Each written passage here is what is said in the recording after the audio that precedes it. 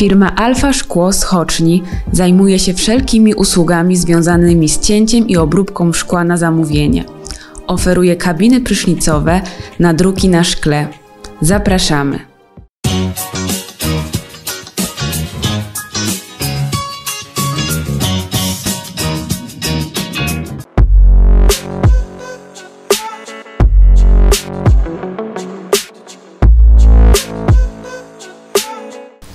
Dzisiaj naszym gościem jest y, burmistrz Andrychowa, Tomasz Żak. Dzień dobry panie burmistrzu. Dzień dobry, witam bardzo serdecznie. Mm, Panie burmistrzu, spotkaliśmy się dzisiaj, żeby mm, podsumować ten pierwszy rok kadencji, nowej kadencji.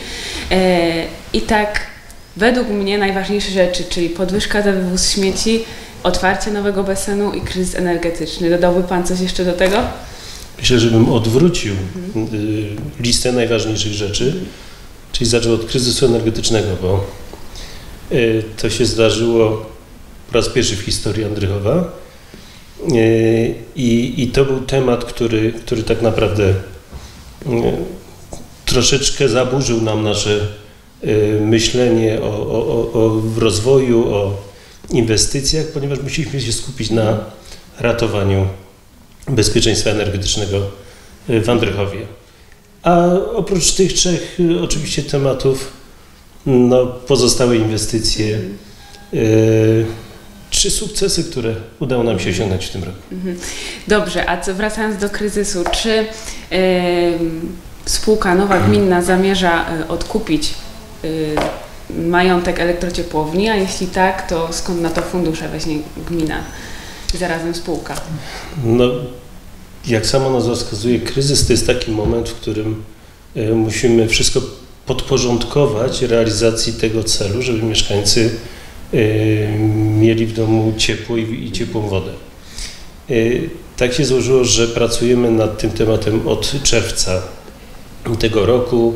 E, Powiem, że, że to było troszeczkę szalony pomysł, żeby rzucać się na ten temat, ponieważ no, żaden samorządowiec tak naprawdę nigdy tego nie robił. Dobrze, ale były jakieś inne wyjścia? Trudno mi w tej chwili powiedzieć o innym wyjściu. No, nam wydawało się, że e, kwestia bezpieczeństwa energetycznego jest najważniejsza w tym momencie dla, dla miasta e, i, i bardzo ryzykowną drogę obraliśmy, czyli stworzenie własnej spółki energetycznej, ale w konsekwencji, patrząc przyszłościowo, chcielibyśmy mieć wpływ na to, e, w czyich rękach jest, jest firma i cały system energetyczny, ponieważ e, no, od właściwie e, tego zasilania w prąd czy w ciepło, wszystko w tym mieście zależy. E, I, I doszliśmy do wniosku, że stworzenie spółki gminnej jest najbardziej właściwe. Przejęcie kontroli nad tym całym systemem. Pytanie było, skąd pieniądze na to, żeby kupić te środki trwałe tak, do, do, do, do, do działania. E, Powiem tak, no na razie jesteśmy na umowie dzierżawy. E, Tu w tym miejscu oczywiście znowu e, chciałbym jeszcze raz powtórzyć, my nie przyjmujemy żadnych długów spółki, która to wcześniej prowadziła. E, Więc e, chcemy je nabyć, nabyć w sposób legalny, nieobciążony, Mm, a na to są potrzebne duże pieniądze. My już w tej chwili rozmawiamy y, z y, przedstawicielami czy to Ministerstwa Energetyki, czy Wojewódzkiego Funduszu Ochrony Środowiska, Narodowego Funduszu Ochrony Środowiska celem znalezienia wsparcia finansowego. Czy nam się uda? No na dzień dzisiejszy jeszcze nie mogę powiedzieć, że, że osiągnęliśmy w tym zakresie sukces, ponieważ to, to wymaga spotkań, wymaga przedstawienia e, argumentów, wyliczeń, e, no i tak naprawdę porozumienia się, czy to e, z wierzycielami, czy, czy, czy, czy z panem komornikiem, kiedy te majątki, składniki majątkowe tej spółki wystawi na licytację. E, Dobrze, wracając jeszcze e, do basenu, niewątpliwie e, jednej z największych Pana inwestycji przez ostatnie kadencje. Mieszkańcy mają pewne wątpliwości co do tego, na przykład dlaczego brakuje tam przebieralni, dlaczego nie ma szatni rodzinnej, czemu tego w ten sposób nie przemyślano i czy można to zmienić jeszcze? Pani redaktor, projekt robili fachowcy. To nie burmistrz projektuje, to nie projektują pracownicy. Y, myśmy oczywiście konsultowali wiele rzeczy z y, obiektami już istniejącymi, no ale obiekt ma określoną powierzchnię. Wydawało nam się, że te rozwiązania w miarę nowoczesne są zastosowane w tym naszym obiekcie i i one będą e, służyć mieszkańcom. Życie pisze swój scenariusz. Wszystkiego nie da się przewidzieć. Czasem w domu remontujemy i nagle się okazuje, że, że szafka e, czy, czy e, jakieś pomieszczenie powinno być w innym miejscu, a nie w tym, w którym, w którym się znalazło. Wszystkie te uwagi oczywiście przyjmujemy z pokorą. Staramy się zwiększyć ilość szatni, bo już są dobudowywane dodatkowe kabiny tak, y, na, na, na y, przebieranie się. Y, są te szatnie wyposażone w dodatkowe elementy, gdzie nam zgłaszają właśnie użytkownicy, ale myślę, że nie, nie szukajmy, że tak powiem, problemów. Myślę, że, że należy się cieszyć z tego, bo słyszę bardzo dużo pozytywnych opinii na temat tego basenu. Wielu ludziom się to podoba i i, i, myślę, że, że, że, większość traktuje ten obiekt jako, e, jako coś, co wreszcie się zrealizowało w Andrychowie, a na co przez wiele lat czekali. I, i korzystają z tego. I to nas również mhm. cieszy, że coraz więcej e, osób przychodzi, e, korzysta z tego obiektu, bo tak naprawdę no, ten obiekt jest dla mieszkańców i, mhm. i nie tylko, bo tak tak już obserwujemy, że, że, że wiele osób, czy to z Wadowic, z Wieprza, z Kent, z innych miejsc przyjeżdża i korzysta z tego obiektu. E, dobrze, trzeci temat, czyli podwyżka śmieci nie tylko w Andrychowie, we wszystkich innych gminach. Tak samo e, e, składają się na to różne czynniki, dlaczego się tak stało, ale tutaj opozycja podnosi taką kwestię, dlaczego nasz Andrychowski Zakład Gospodarki Komunalnej jest taki niedofinansowany, dlaczego nie możemy, gmina nie może pomóc zakupić nowoczesnych śmieciarek, nowoczesnych koparek, tak żeby ten zakład sam sobie radził z wywózką śmieci, nie musiał wchodzić w konsor konsorcjum i dzięki temu może ta opłata nie szłaby tak w górę. Panie redaktor, myślę, że nawet pytanie to nie jest na miejscu, bo, bo my jesteśmy uzależnieni od konsorcjum. Wiele, wiele lat temu podjęto decyzję o zamknięciu wysypiska. Czyli skazano nas tak naprawdę jako gminę na to, że musimy z kimś się porozumieć. E, I gmina, największa gmina w powiecie, wadowickim wysypiska własnego nie posiada. A kto podjął tę decyzję o zamknięciu wysypiska? Decyzja została podjęta no, kilkanaście lat temu.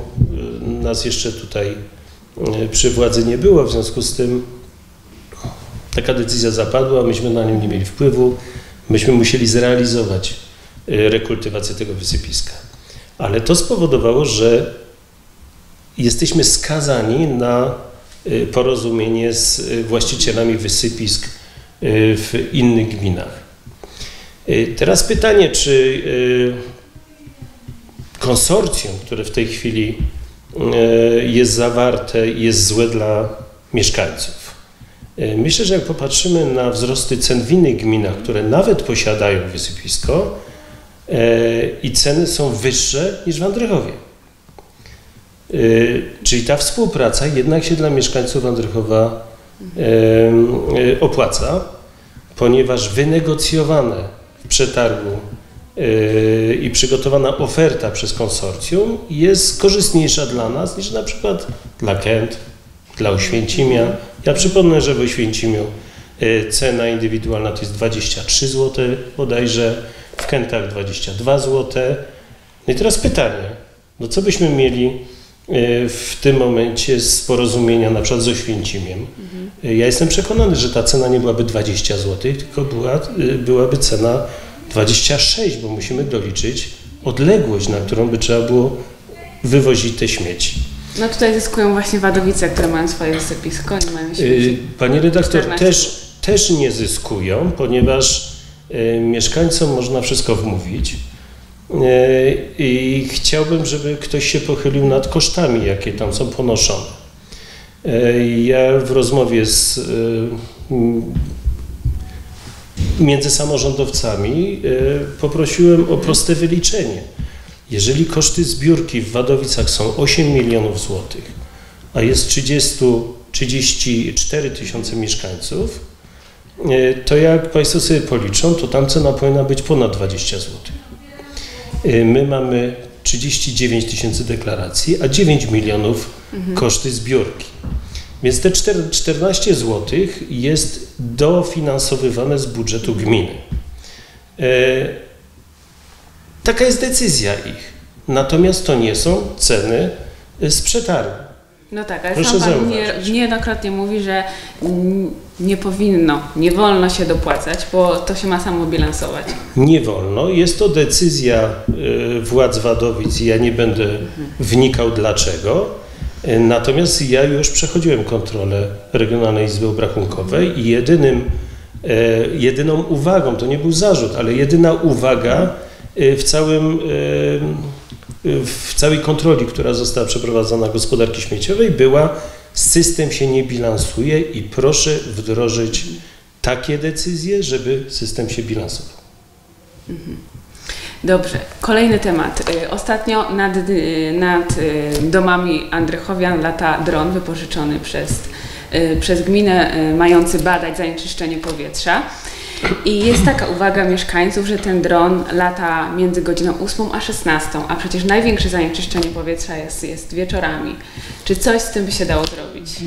Tu chciałem przekazać, że e, w drugim dniu latali po południu i wieczorem e, i myśmy chcieli przetestować, czy w ogóle takie urządzenie jest przydatne do e, stwierdzania, kto pali śmieciami, kto zanieczyszcza powietrze.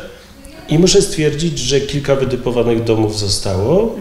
E, Straż Miejska musiała się tam udać i, i pobrać próbki.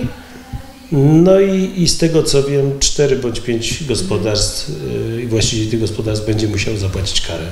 Zresztą sam Pan mówił na sesji, że sami mieszkańcy zgłaszają i to ze stuprocentową e, później sprawdzalnością e, innych e, gospodarstw, gdzie pali się odpadami i, i to wszystko tak jakby samo działa, bez tego, bez urządzenia jakim jest dron. No Ja myślę, że nic nie działa samo. Yy, Chciałem zwrócić uwagę na jedną rzecz, dokąd kara za palenie śmieciami nie będzie dotkliwa, to yy, tak naprawdę niewiele się zmieni. Yy, Tu są dwie wartości ważne, które, które powinni też mieszkańcy wiedzieć. Badanie próbki pobranej z pieca to jest koszt 490 zł. No właśnie. Natomiast mandat 500 zł. 500 zł. I y, proszę sobie wyobrazić, że robimy, pobieramy 10 próbek, czyli koszt zbadania tych próbek to jest 5000 zł, a tylko jedna osoba y, faktycznie paliła. Czyli y, gmina musi dopłacić, wydatkować y, na badania o 4500 zł więcej niż uzyska z powrotem. Y, Wiele gmin właśnie na tym, y, na tym, na tym kosztowym problemie e,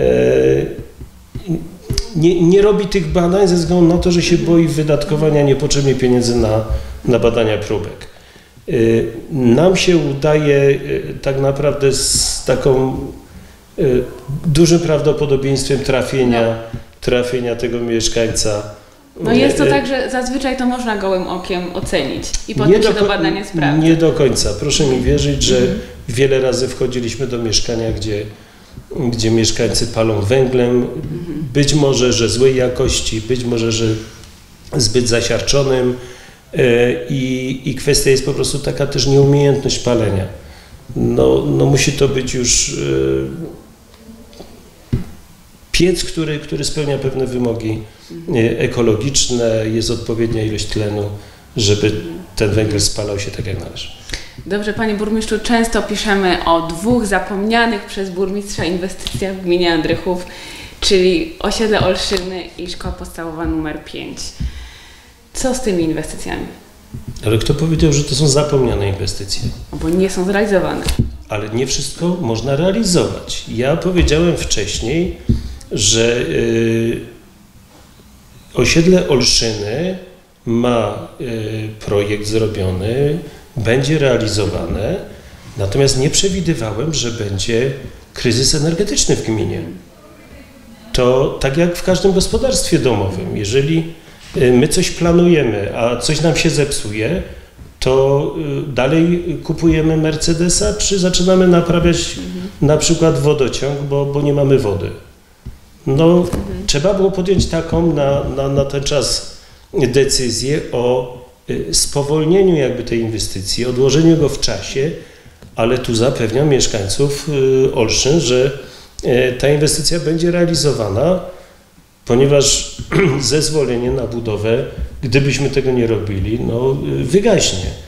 A, a poszukujemy tak naprawdę i, i innych możliwości sfinansowania tej inwestycji. Y, Co do szkoły piątki, to w takiej samej sytuacji jest szkoła numer, y, y, przepraszam, zespół szkół samorządowych w Żykach. Tam też mieszkańcy czekają na termomodernizację szkoły, na poprawę warunków. I to są dwie ostatnie placówki, które muszą być zrealizowane. I jak Państwo wiecie, z roku na rok y, placówki oświatowe wyglądają coraz lepiej, coraz, y, coraz lepsze warunki są y, nauczania w tych, w tych placówkach. Y, Przecież my sobie zdajemy sprawę, że termomodernizacja takiego obiektu, y, obiektu to jest oszczędność w wydatkach bieżących. Myśmy te placówki złożyli do programu termomodernizacji Urzędu Marszałkowskiego. No, niestety nie dostaliśmy dofinansowania, ale bardzo proszę nie mówić, że to są obiekty zapomniane przez burmistrza. One będą zrobione i, i ja wielokrotnie mówiłem, że jeżeli remontujemy ulicę Lenartowicza i tam inwestycje w parkingi, w drogi, w ścieżki rowerowe, to jest rząd wielkości prawie 10 milionów złotych, to 2 miliony na remont y, szkoły i termomodernizację szkoły numer 5 musi się znaleźć. Więc y, w tej chwili pochylamy się nad y, budżetem.